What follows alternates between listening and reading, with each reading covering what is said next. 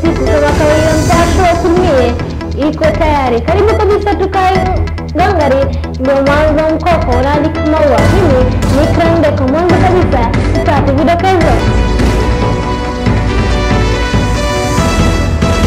kenya yarekodi idadi kubwa walopona na covid-19 mapigano kaunti ya marsabitio watu wana Kenyatta na magavana kujadili mikakati ya kuokoa taifa na COVID-19. Waziri wa fedha Ukur Yatani atarajiwa kusoma bajeti hii leo. Shughuli za usafiri katika barabara ya Marsabit kuelekea jijini Nairobi zimetatizwa katika eneo la Songa, huku wenyeji wakilalamika vifo vya watu nane. Umoja wetu watu wasiharibu. Lengo ni kuharibu umoja ya watu wetu, amani ya watu wetu, amani ya kaunti yetu.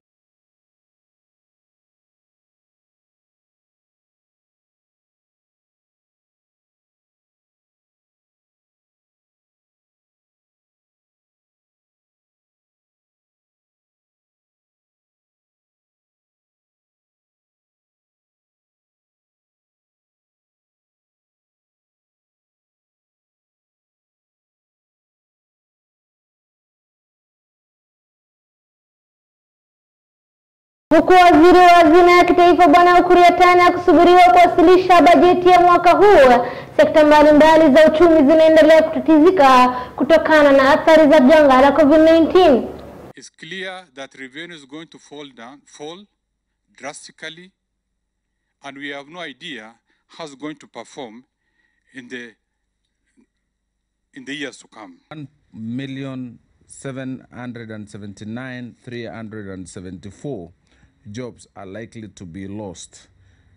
However, the ones that we feel are like and those likely to require social protection are about 5.8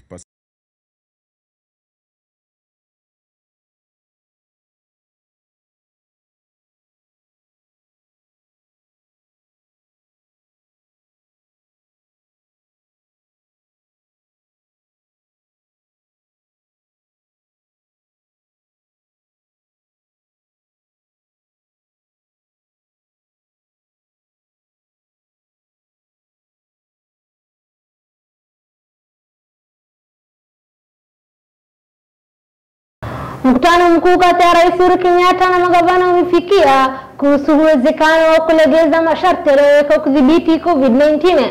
Mwanahabari wetu Abdul Hafidh Mchina ana mengi zaidi. Serikali kuu na serikali za kaunti zimekubaliana kuwahusisha magavana katika mipango yote ya kufungua uchumi, majumba ya ibada na shule. Katika mkutano ulioshirikisha magavana ambao ulifanyika katika ikulu ya Nairobi Jumatano chini ya uongozi wa Rais Uhuru Kenyatta, magavana walikubaliana na wazo la Rais Uhuru Kenyatta kwamba kila kaunti iwe na vitanda mia tatu vya kuwahudumu ugonjwa wa COVID-19 ifikapo Julai 6. that this extraordinary summit congregates to ponder and to sanction the development of time-bound protocols for the progressive reopening of our economy.